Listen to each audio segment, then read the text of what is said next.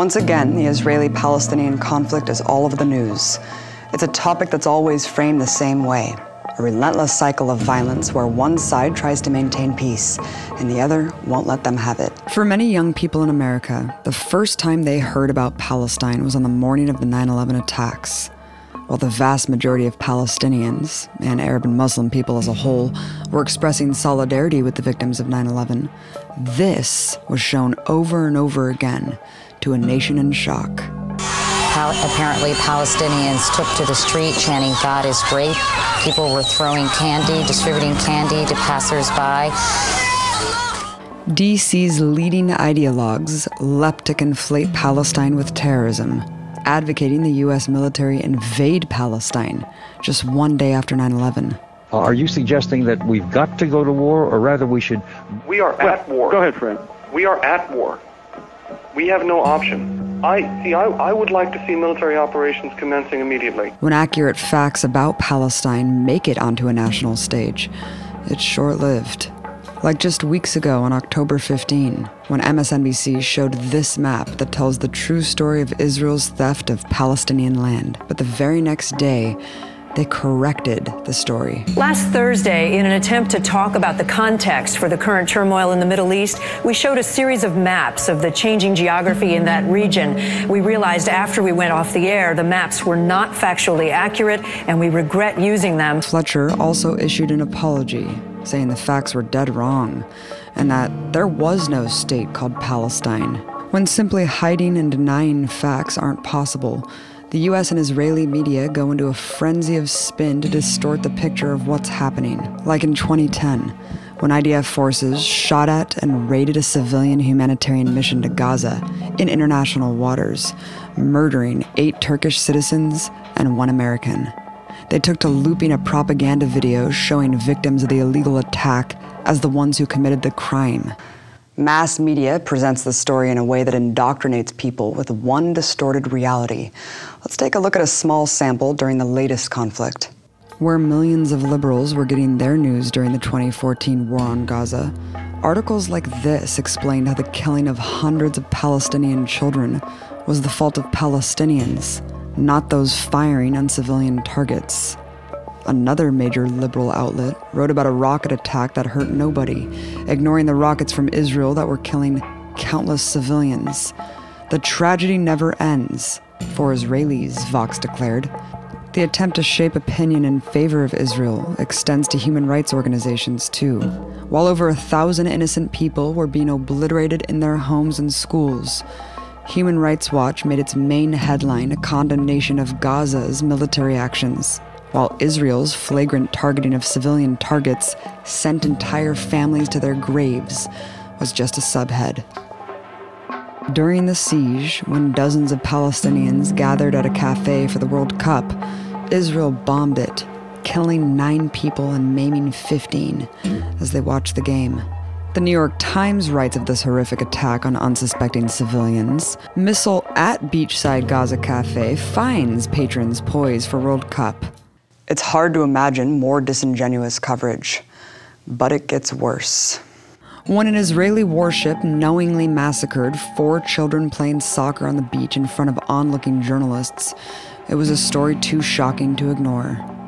So the New York Times published another watered down headline Four young boys killed playing on a Gaza beach.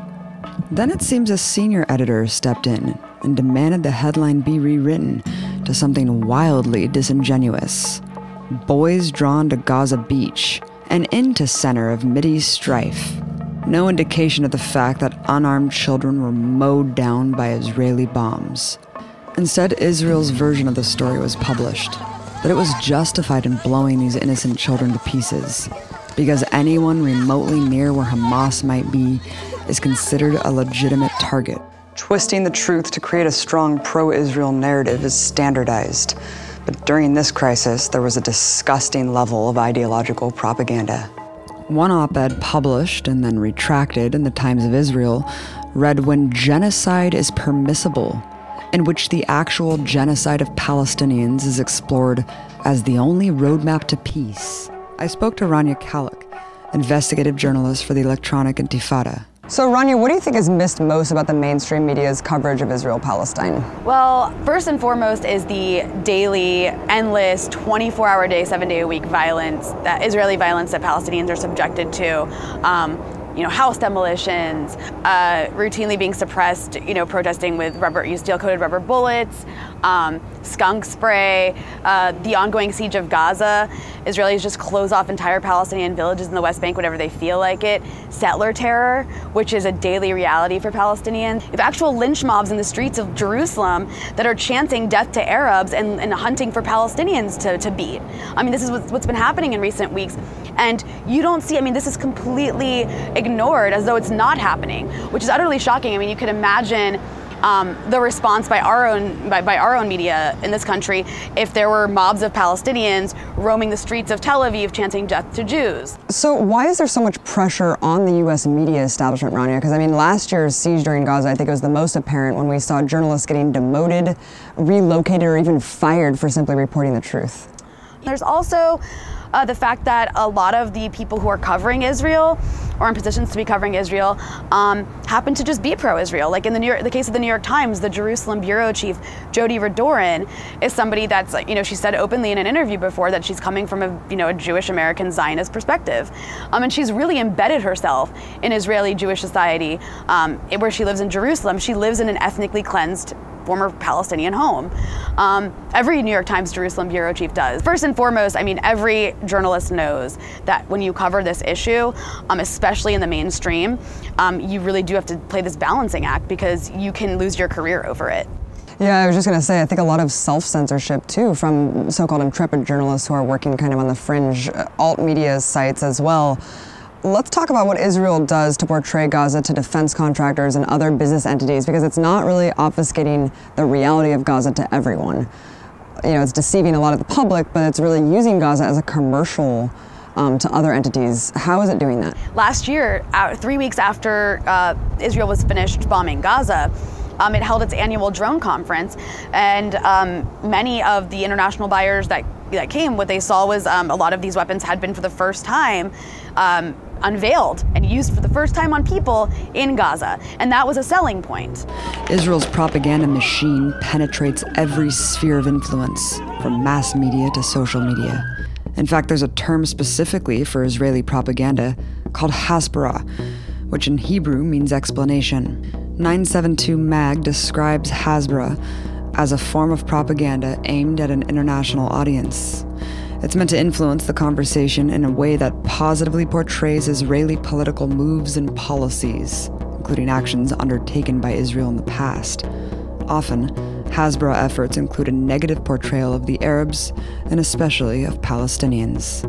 The more the Israeli military ramps up its aggression, the more it ramps up its Hasbara. During that same massacre in Gaza, thousands of sock puppets and Hasbara trolls emerged online to defend the mass killing of civilians and edit history in real time. One Israeli university has more than 400 volunteers working in a Hasbara war room to argue pro Israel talking points online. Even school courses teach how to edit for Wikipedia offering prizes like hot air balloon rides for those who complete the most historical revisionism. I came here to learn more about how uh, we as Israelis and as Jews can defend Israel online, on the internet, and particularly in Wikipedia in this case.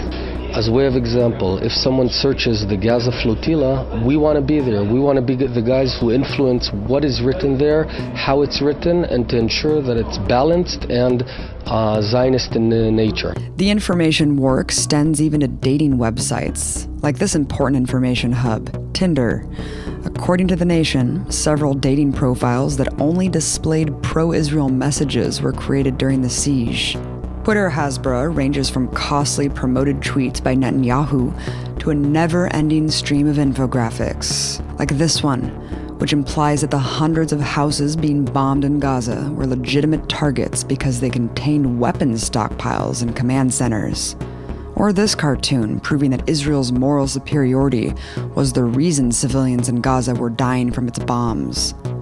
Their propaganda ignores that even if cases exist where human shields are being used, it's still a war crime to attack them.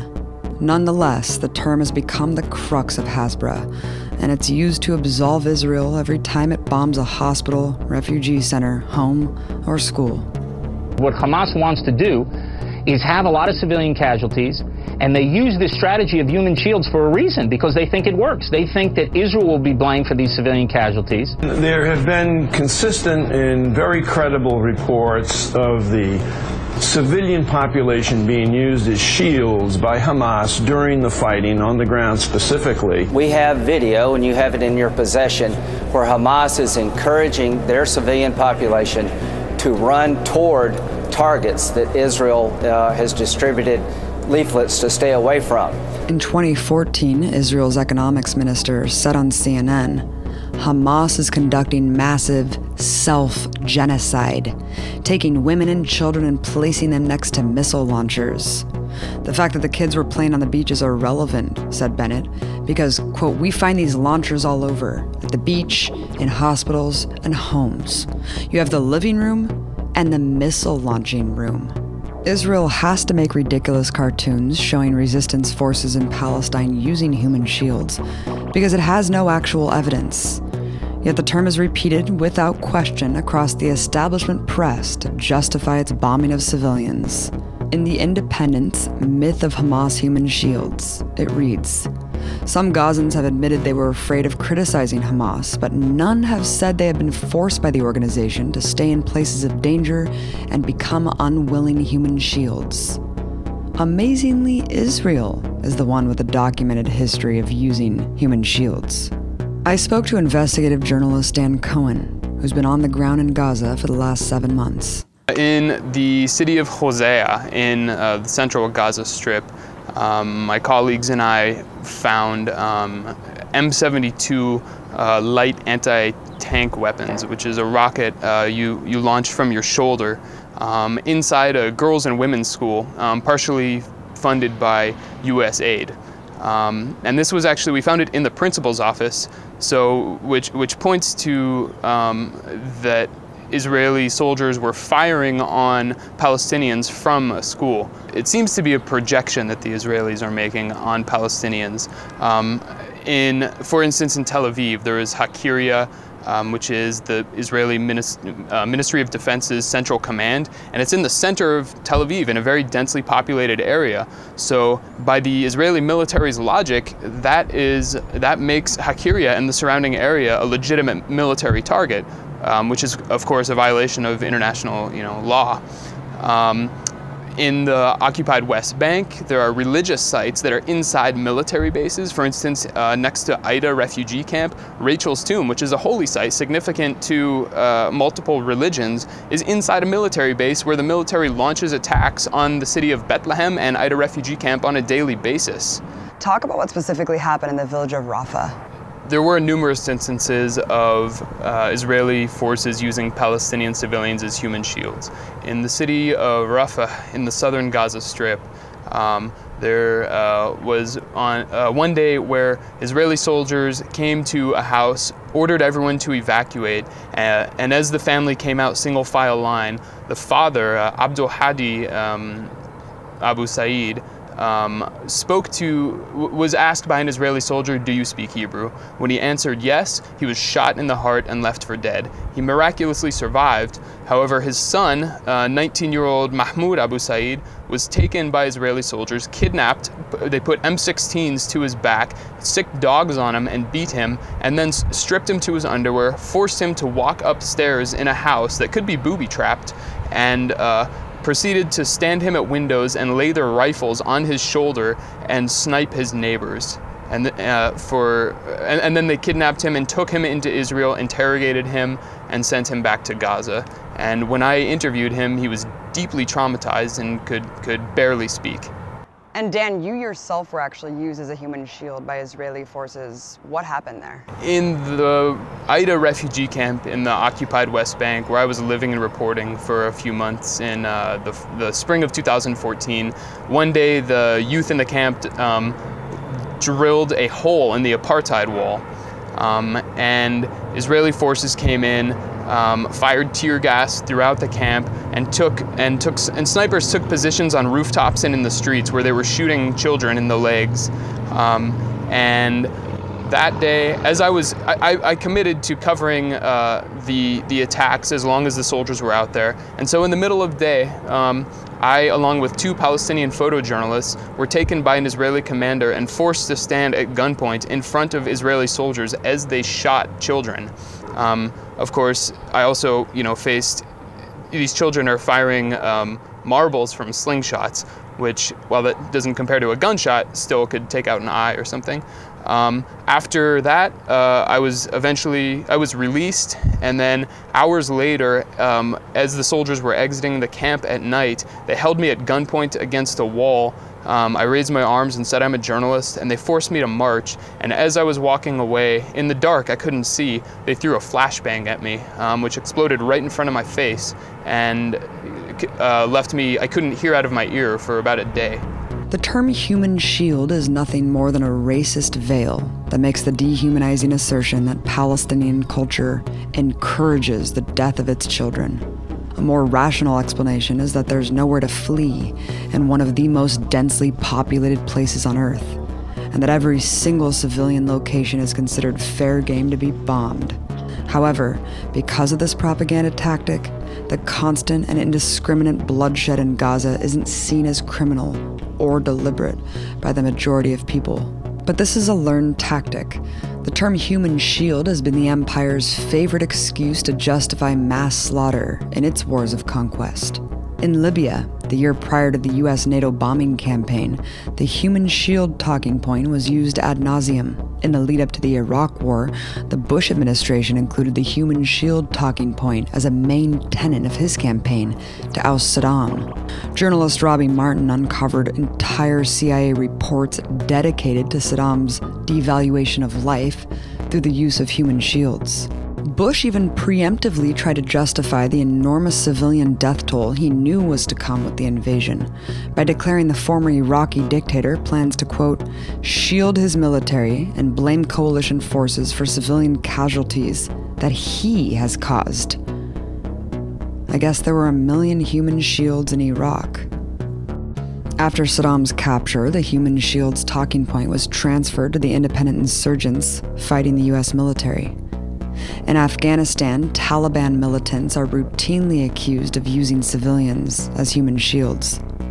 Most recently, the US military deliberately bombed a Doctors Without Borders hospital in Kunduz, Afghanistan, using the debunked rationale that the Taliban was housed there, using the doctors and patients as human shields. Further back in history, during the Vietnam War, the Viet Cong was relentlessly accused of using defenseless civilians as human shields. During the Korean War, U.S. tank commander claimed North Korean soldiers gathered hundreds of men, women, and children and made them walk in front of their tanks. At least 2.5 million civilians were killed by the U.S. military in this war. During World War II, Japan's army was accused of the same evil tactic.